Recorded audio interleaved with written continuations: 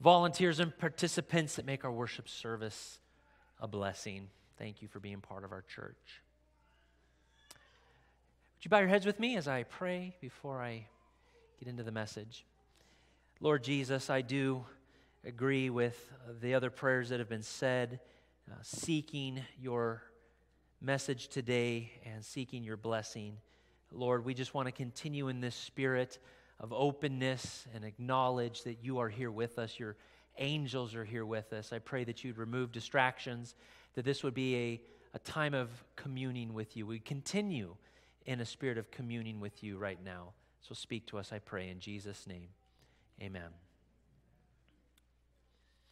Um, you know, the story of Christ and the story of Jesus is like an unending basket that we can reach into and continue to find blessings, just like the uh, baskets that were used in the feeding of the, the multitude that just continued to provide the fish and the loaves, or, or the, the oil in the Old Testament that uh, Elisha had uh, told the woman to pour the oil, and it just seemed like it would never stop flowing um, at the word of Elisha. The story of Jesus is something we're going to continue to evaluate and appreciate and study and, and learn from throughout all eternity. I don't care if I live for a thousand Christmases, I will never be unable to appreciate different elements of the coming of Christ.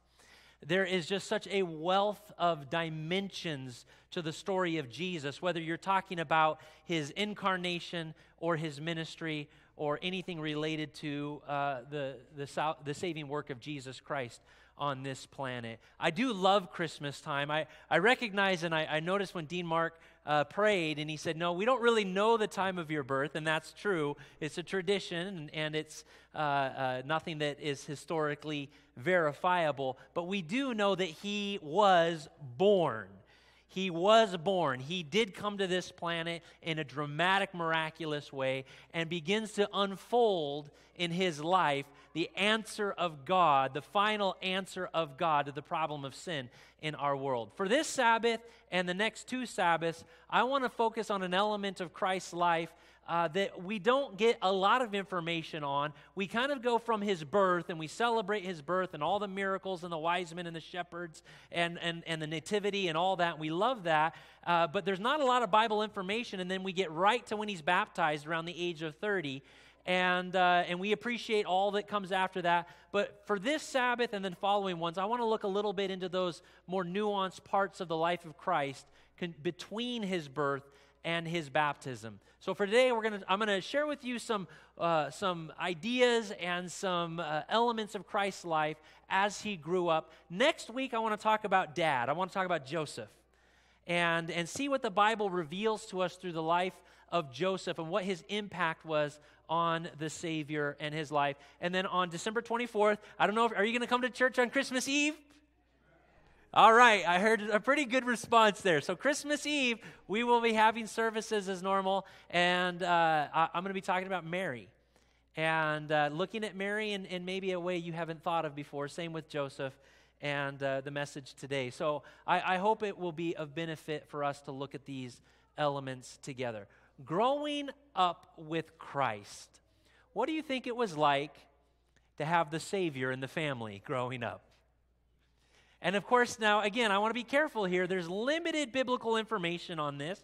We have to be careful to not dramatize beyond what would be applicable to the revelation of Scripture. Uh, but Scripture does give us some, some fascinating insights and windows into what it may have been like growing up with Jesus Christ. So I do have a, a quiz this morning. And if I could have my volunteer microphone assistance so that the kids can be heard in the sanctuary. I see coming from the back. Toby is coming. Can I get one more volunteer, please? Jaden? Now that you've been baptized, I can allow you to hold the microphone. Two baptisms. All right. All right. Question number one Did Jesus have brothers and sisters? How many did he have if he had them? What, what do you think here? Zero, two? There's some options for you. I see Julian here and I see a couple others. D. He says, you said D or E? D? Okay, Julian says six. We'll have a few other answers. Um, Andre? Two. All right, Andre is pretty convinced it's two. A- Abel, did you want to share something? I can't quite tell. Zero. All right, Abel says, I don't think he had any. I think I know this one. Okay, uh, let's do one more. I see some hands right here. Jaden, I think that's Eric. Two. All right, he says two. All right, I'm going to go ahead and, and give you the answer. Now, again, I'm talking about, you know, of course, we're all brothers and sisters and the, you know, and the disciples and all that, but in his actual family structure, the Bible tells us he had at least six. You know, and this is something, if you haven't thought about it before, I mean, how often have you seen a depiction of young Jesus with brothers and sisters all over the place? It's not common. We typically envision the Savior as this only child, right? Uh, uh, often with Mary, sometimes with dad, with Joseph. But G- the Bible says that he had at least six siblings. He was not an only child, he was not raised in an only child uh, home. What were his brothers' names? You know, the Bible actually tells us his brothers' names.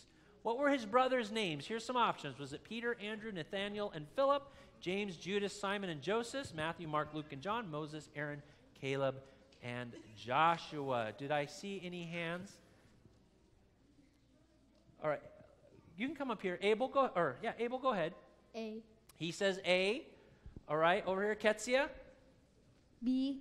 Ketsia says B, and then we'll take Dylan. And then grab Eric here too. Dylan. A. Dylan said, we got A and B competing. No, Eric. Well, I see Andre. Okay, the one that I'm pointing to. Ezekiel's brother. A. Another A. All right, I'm going to have to give this one. I know you guys are ready to go, but we're going to keep the message going.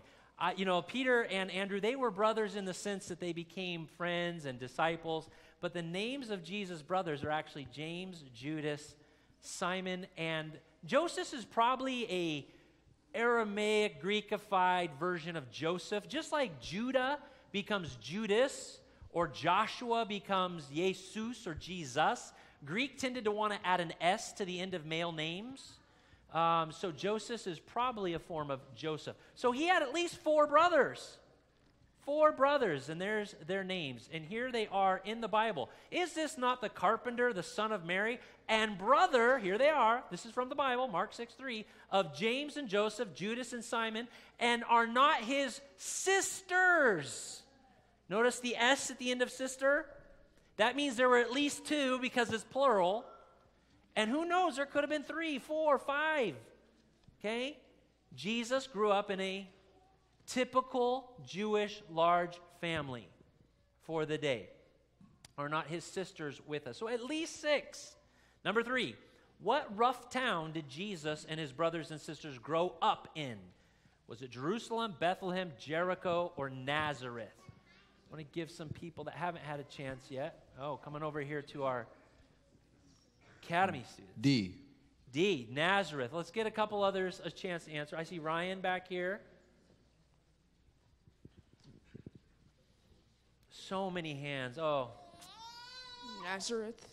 what'd you say? Nazareth. Nazareth. Brian says Nazareth. Okay, one more. All right, Nico. A. All right. Everyone but Nico is right.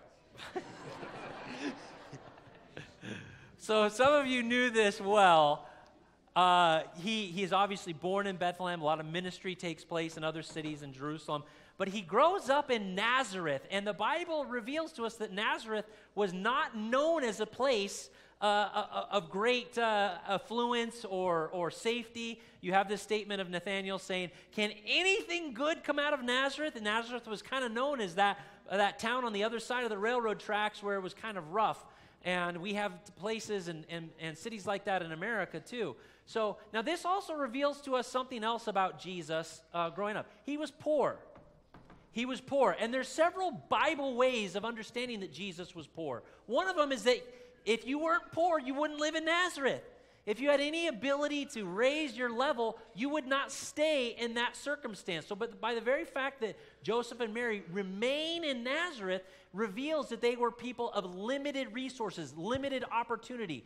The other way that we know they were poor is that when Jesus was dedicated at eight years old in the temple, they offered, Mary and Joseph offered the offering of the poor.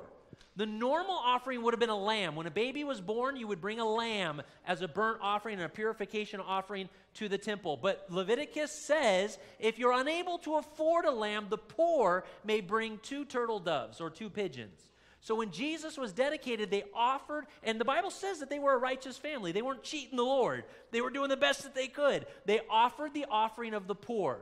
Sometimes people ask, what did they do with the gold, frankincense, and myrrh? Those were highly valuable things that the wise man brought, the, wise men brought them.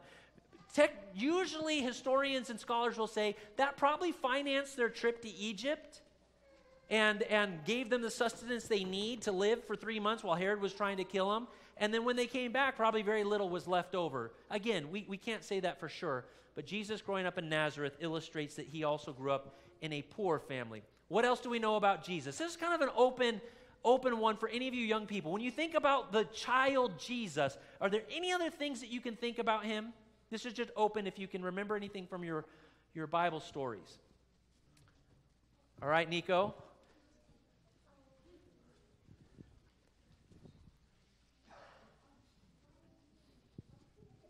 Um, when he was 12 years old, he went to the temple. Yes, the story of him going to the temple. Uh, Gloria, did you want to say something too?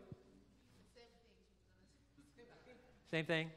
Okay. So, yeah, that's the, the one major story that remember that reveals to us a little bit about what was going on in the life of a 12 year old Jesus. Okay? All right, Andre will have the last one. Where are you, Jaden? Don't let me down here, man. He's coming round. Very well done. Okay, Andre, last comment here. What else do we know about Jesus' childhood? He was very smart. Oh, he was smart. Very good. That's right. Toby, Jaden, thank you so much. You can set the mics on the front pew, we'll probably be fine. Well, we do know that his father was a carpenter and that Jesus developed carpentry skills and was also known as a carpenter. Um, so he probably uh, took on the family trade. Any of you else have a dad who was a carpenter? My dad was a carpenter. so a few of you out there grew up having a carpenter or, or a tradesman, craftsman. Um, yes, as Andre said, he at the age of 12 revealed that he did have very good wisdom and knowledge, profound wisdom and understanding. We'll talk about that a little bit.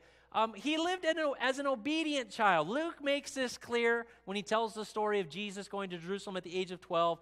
Even though Jesus had gotten separated from his parents, you might say, well, he was clearly disobedient or at least negligent in being separated from his his parents. But again, we know that Jesus was doing the will of the Father, and it was just an accident and an opportunity for Mary and Joseph to be reminded of Jesus' true purpose when, he, when that story unfolded there uh, and he becomes separated from his parents. And Luke makes it clear at the end of that story, he says that Jesus continued in obedience to his parents, not rather, and so he therefore started to become obedient again. He had always been in obedience, it was just more of a misunderstanding, and God used that as an opportunity again to illustrate the purpose of Jesus.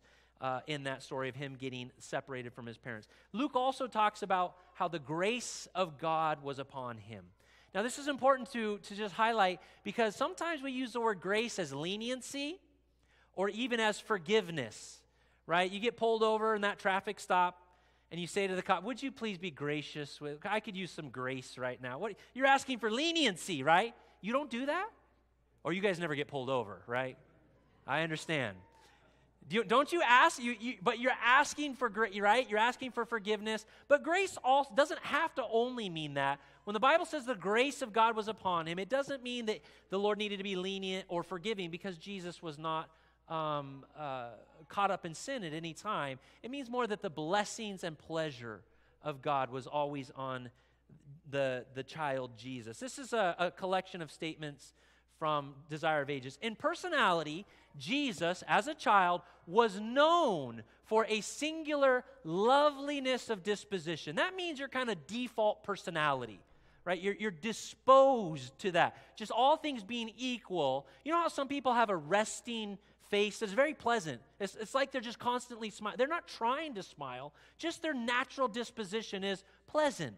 Other people are kind of neutral, and then you have people who are kind of grumpy naturally. They don't mean to be grumpy, but that's their resting disposition. Jesus, as a child, even his, his demeanor, his personality was one of loveliness, patience that nothing could disturb, grace of unselfish uh, courtesy. I want you to notice cheerfulness for a second. You know, when you read the stories of Jesus, how many smiles do you read about? How many times did Jesus laugh? Okay, the Bible doesn't talk about any of those things. And it leaves the impression now, the mission of Jesus was serious, it was sober. He was under constant stress, constant pressure, right? And even uh, Isaiah's prophecy of the suffering servant says that he would be a man of sorrows and acquainted with grief. And it gives the idea that Jesus was serious and sober all the time, that he never knew how to experience happiness, joy. And I remember in college, um, one of my, my uh, fellow students would say, But couldn't the Bible just say he smiled once? Couldn't the Bible just, I understand he had a serious mission, but what, couldn't the Bible just say he laughed once? And a buddy of mine uh, who, was, who was with me at the time, he says, You know, the Bible doesn't talk about his poopy diapers either, but it doesn't mean he didn't have them. Right? Just because the Bible doesn't talk about it doesn't mean that Jesus did not understand what deep pure gladness and happiness and joy was about. And I like that uh, the, the spirit of prophecy says that Jesus was known for a singular, and then all these attributes are shown, including cheerfulness. Jesus knows what it means to experience joy. Amen? It's not all just sober, serious business. Salvation is crazy serious but it is also baptized in joy. The Bible says that we will be crowned with everlasting joy. Amen? Now, three of you thought that was a good thing. We're a sober group here today, I can see.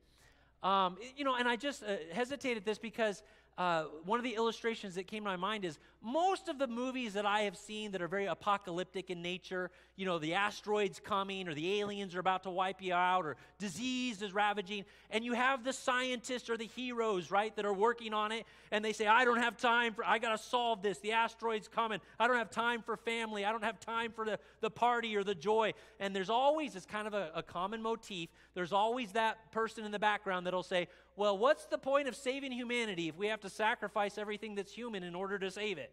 Right? And that same sentiment I sometimes feel like with Jesus when people say, How come he's never happy? He was happy. He was deeply happy and content in his walk with the Lord. And as a child and as an adult, do not discount that just because the Bible doesn't talk about it doesn't mean he didn't experience it. He was a person who knew deep satisfaction cheerfulness, and tact. Sympathy, tenderness, youthful modesty, and grace. We could talk about all of them, but that cheerfulness one is very important to me. From childhood, his one purpose in life was to bless, bless others. By the way, if you want to be happy, make other people happy. Amen? If you want to be happy, don't focus on your own happiness. You help others, you bless others, and as a residual result, the way God has made our our being and our personality, it blesses us. His one purpose in life was to bless others. And of course, that brought him great and deep satisfaction. His willing hands, ever ready to serve them. He performed faithfully the duties of a son, brother, friend, and citizen. So, interesting. Growing up with Christ, I'd like to introduce you to my brother. His name's Jesus. He's 12 years old, but he's the Savior. Have you met Jesus? He's my brother, and he's the promised Messiah that we've been promised, you know, been told about. What was it like? It wasn't a mystery. It wasn't like he appeared out of nowhere in an unknown capacity and suddenly, not like David. David was not born as a king, he gets anointed as a king later, right? That identity develops over time. Jesus, from the time he came, was known to Joseph and Mary and to his siblings that he was the Messiah. Jesus, Don't forget to turn off the light before you leave the house because we wouldn't want you to sin and leave the lights on.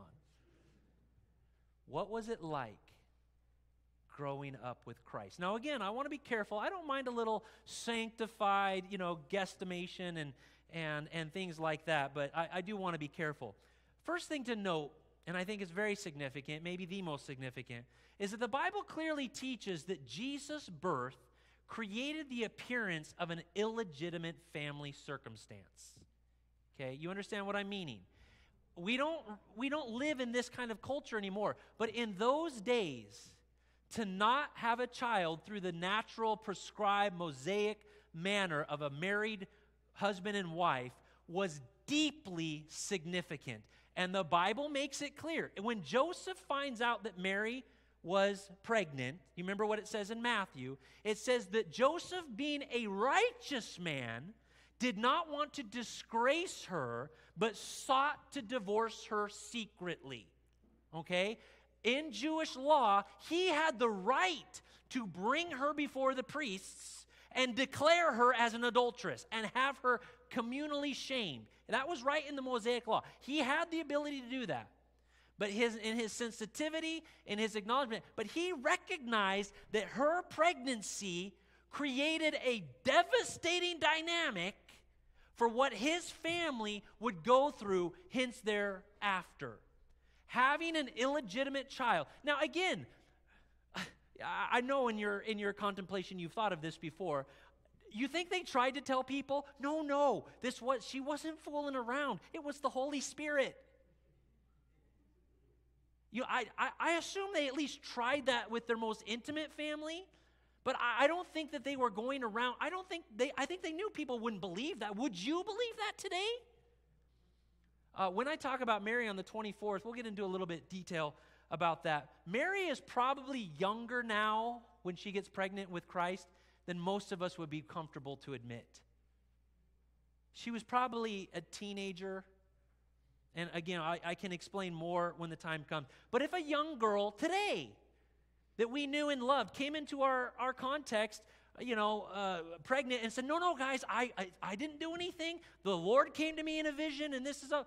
You, you understand? We would be stretched to understand that as coming from God. So, uh, from the context of the community, Jesus grew up in a family that did not have honor. Okay? And this would be deeply significant in that time and context. When it came to family honor and community respect, the, the religious purity was paramount was absolute from everything from how business was transacted to how they would interact in the synagogue to, to how they would interact with their neighbors. And by the way this isn't that much different from how uh, you know we deal with things today. Think about the business relations and marketplace dealings. Joseph is a carpenter. How does he make money? He makes money by making contracts for people to do labor if you lived in Nazareth and you had three carpenters to choose from, you would choose those who had the most honor first. You would only go to the dishonorable family, you know, if you had no other recourse. And again, this isn't that much different than today. We choose businesses not necessarily based on their prices or logistics. Um, um, you know, right now, a lot of people are fleeing Twitter, not because of, you know, this or that, but because they don't like Elon Musk right? And so they say, we're not going to have anything to do with Twitter because we don't like the values of, of the owner of that company. I know people that will not shop at Home Depot, Hobby Lobby, or go to Chick fil A because they are overtly owned by Christians who try to have their Christian values expressed in their business. They won't go to them. In 2003, just from my own personal experience, when uh, the war in Iraq started, um, as part of the war on terror, I don't know if you remember this. Do you remember that France opposed that? If you remember that the French said we are, you know, we are opposed? I had family members that were so, and this was a big national thing at the time. I mean, everyone, oh, the French won't support us. You know, we've been attacked, but they won't support us. I had friends and family members that said because the French wouldn't support us, we won't go to. Do you guys remember Mervyn's, the department store Mervyn's? Was there ever a Mervyn's in Arizona? Okay, well, it was like a department store, like like uh, Macy's. Mervyn's was a French-owned company, so they said, I will not go to Mervyn's. I won't go to Target. It's an urban legend that Target is a French company because some people say Target. But they said that. They say, I won't go to Target and I won't eat French fries. they were protesting. They were saying the values of these companies do not jive with me, so I will not support them. So you get what I'm saying here. Jesus grew up in a family that the community would have said, You do not have the honor of our business. Now, I want you to think about this for a second. Now, the Bible makes it clear that this was part of the dynamic of Jesus' childhood. When you think of Jesus' ministry later, okay, in this uh, thing of business relations and marketplace dealings, the very first person that Jesus would go to and invite to become the first proclaimer of his public ministry was a dishonorable woman who had to come to a well at the top of noon because she was not welcome there when the rest of the women were there. Now, think about this Jesus probably saw his own mother have to do the same thing because Mary, too, likely was not welcome in the same female communal circles because she had a child out of wedlock.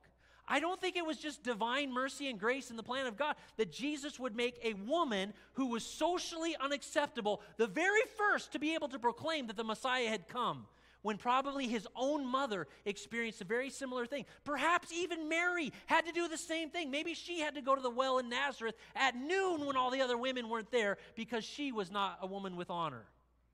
Do you understand how this influences our appreciation of who Jesus was? Uh, you know, he would have loved that woman had he grown up in a perfect uh, family. Don't get me wrong.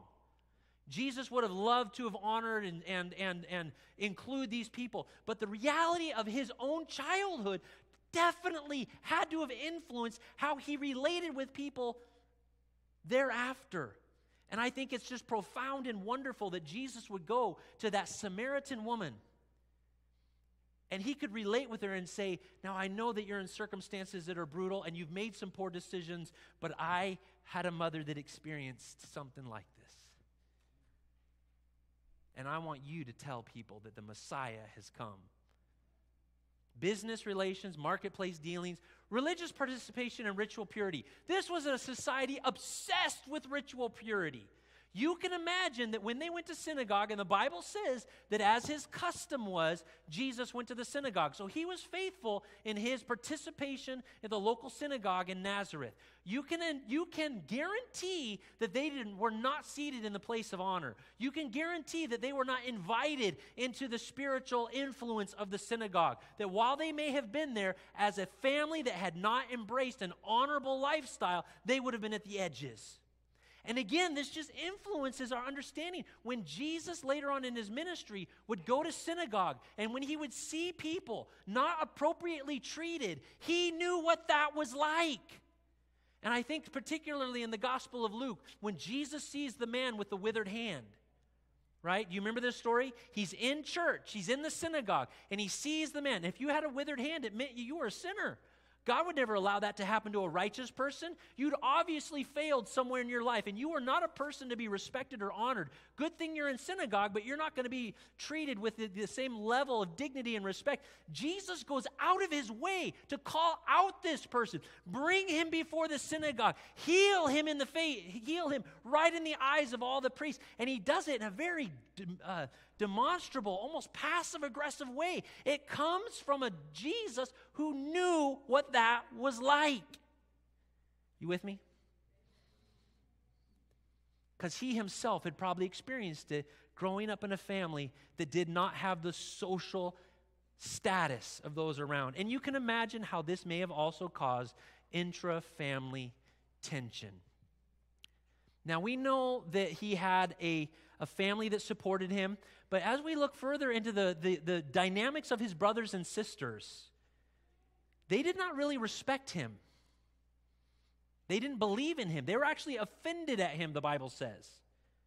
Now, you can imagine these siblings, and again, this is where we get a little bit dangerous into kind of uh, estimating things that we can't necessarily prove. But I can imagine, I have kids. Do, do siblings uh, ever get in arguments? Even good kids? I can imagine that there was at least something like this where the sons at times said, Dad, you know, you could have gotten a better deal on this contract if our family didn't have dishonor, and it's his fault.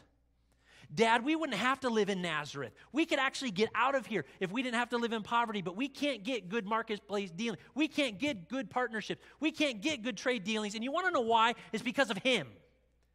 Now, I, again, I can't prove that, but humanly, looking at just the historical family dynamics, there clearly was at least some inter-family tension in the life of Jesus. He knows what it's like to suffer rivalry and to be rejected even by his brothers and sisters.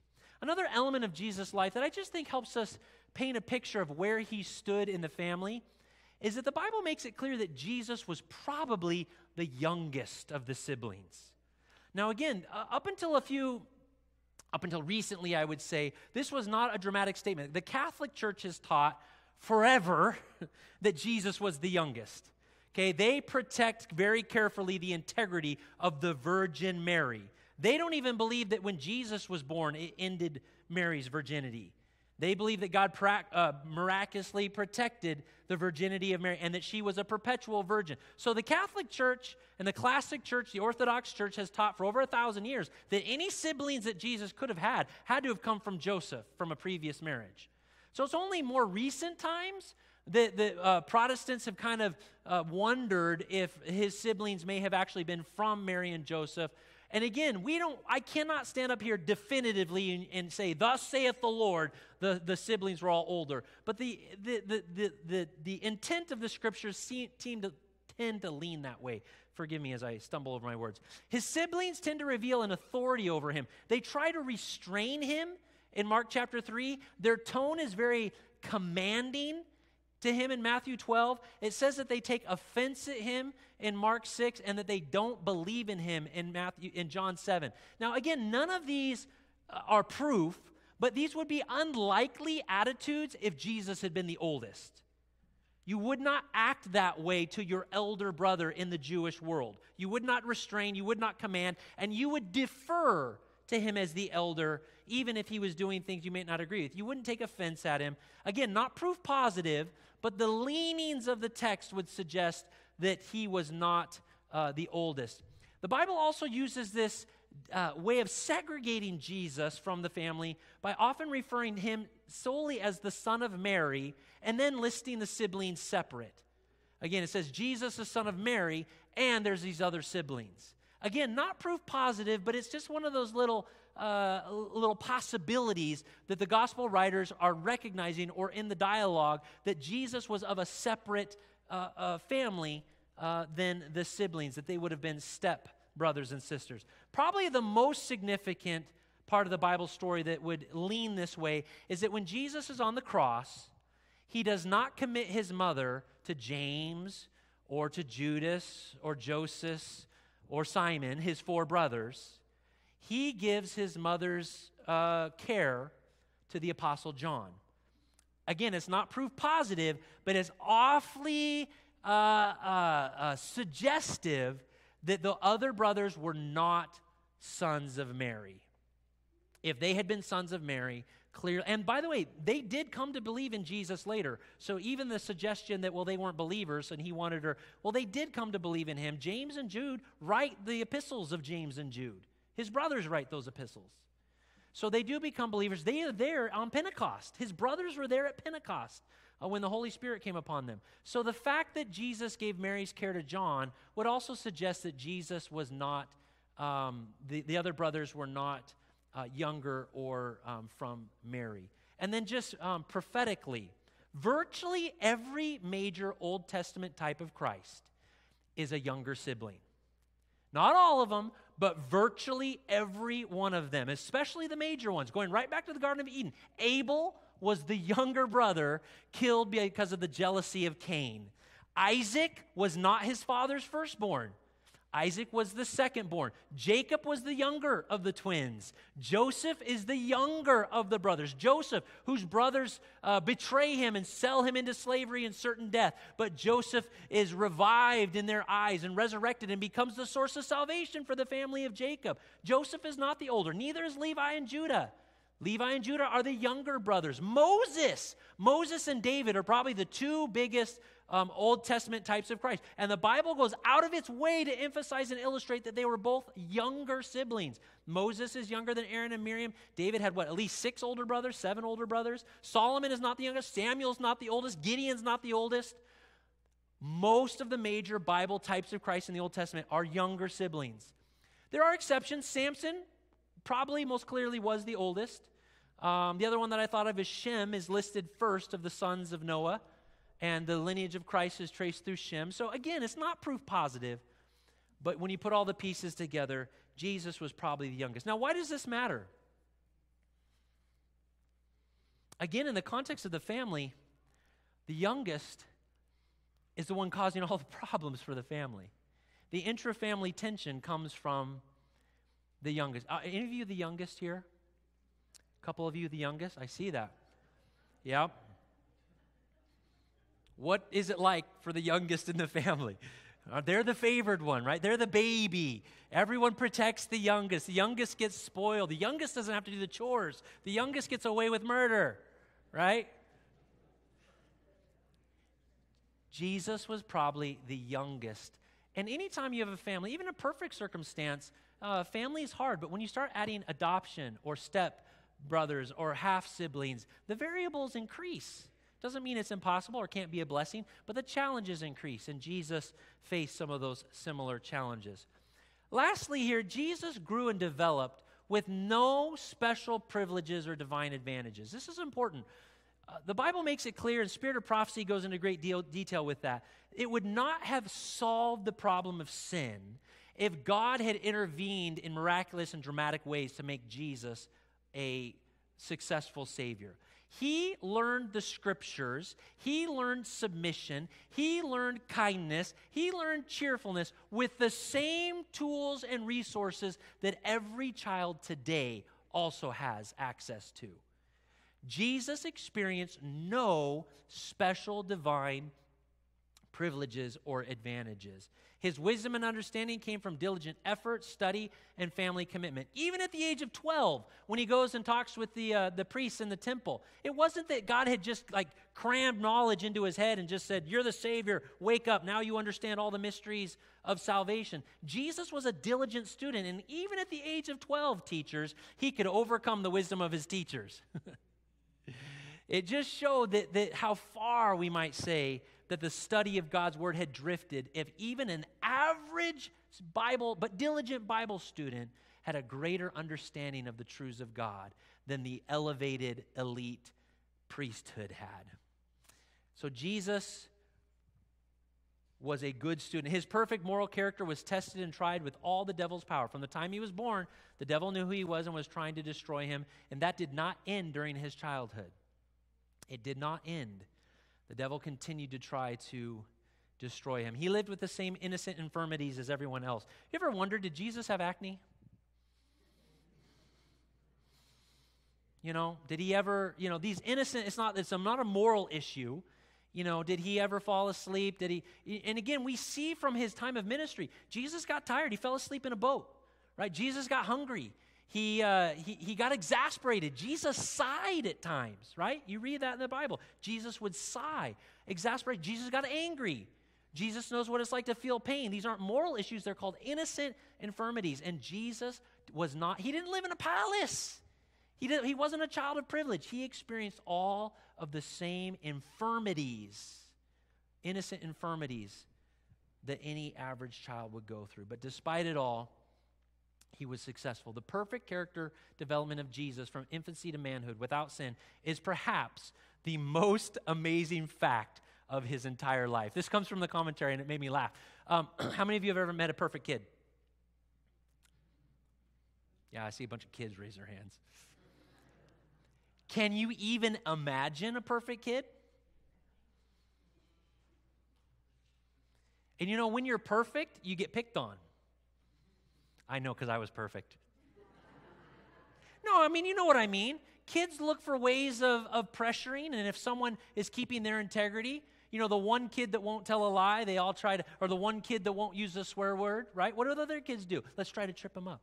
The one kid that's diligent and all that, Jesus, uh, the most amazing fact of his entire life was he was able to keep his integrity and his purity through his childhood. I, I, think that that is a true statement. It staggers the imagination. And in view of the assurances that he enjoyed, no opportunities that God is willing to provide for our children, we may profitably inquire how can these things be? Because Jesus was for us that we just cannot be for ourselves. Jesus was perfect. And although those resources are available to us because of the brokenness of sin, we fall into the trap and we need Jesus. We need a perfect Jesus even as a child.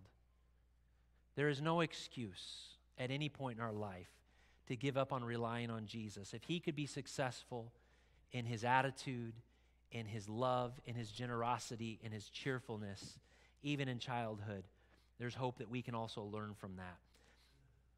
Jesus knows what it's like to grow up in a less than perfect family. He knows what it's like to have siblings.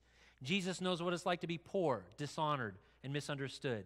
Jesus experienced the joys and sorrows of a real childhood, and yet he is not ashamed to call us his brothers. Jesus overcame sin. His love for his brethren was never in doubt. And I want to end with this passage from Hebrews. He who sanctifies and those who are sanctified are all from one Father, and for this reason, he is not ashamed to call us his brother. We are looked upon and loved by the Savior just like he would look at. Of course, he's all things considered. He's a son, he's a father, he's a savior, a redeemer, but he looks upon us also as a brother and a sister, and he is not ashamed to say, You're my brother, you're my sister. I love you, I came to save you, and I want you to be part of my family. That's the Jesus we worship. Let's pray. Heavenly Father, I know we've just kind of, again, dipped into areas that the Bible gives us just small windows, and yet there can be so many wonderful lessons that we can learn from this.